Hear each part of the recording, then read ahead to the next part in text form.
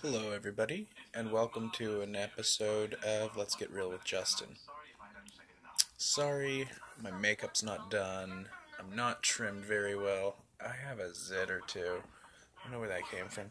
Sporting the bun, and I gotta get my hair did. This I know.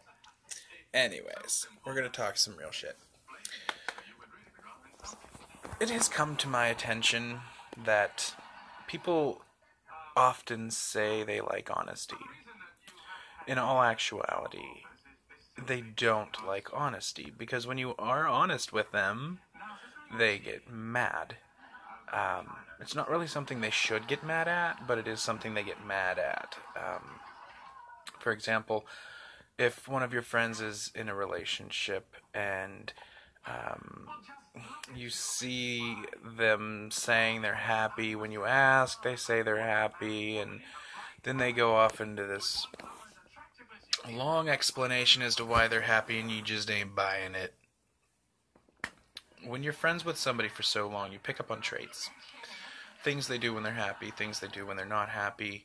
Um, and you just know. So when they're telling you they're happy, I mean, it's only right of a real friend to stop them and be like, in a nice way, you're lying. I can tell you are.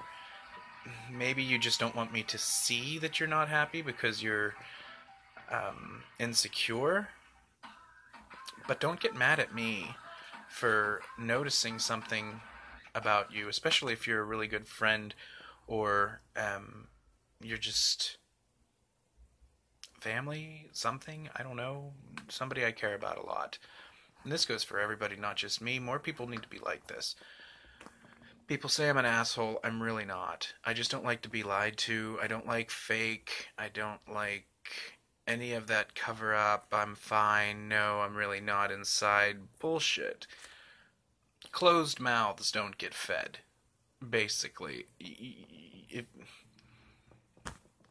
you want help, but yet you don't.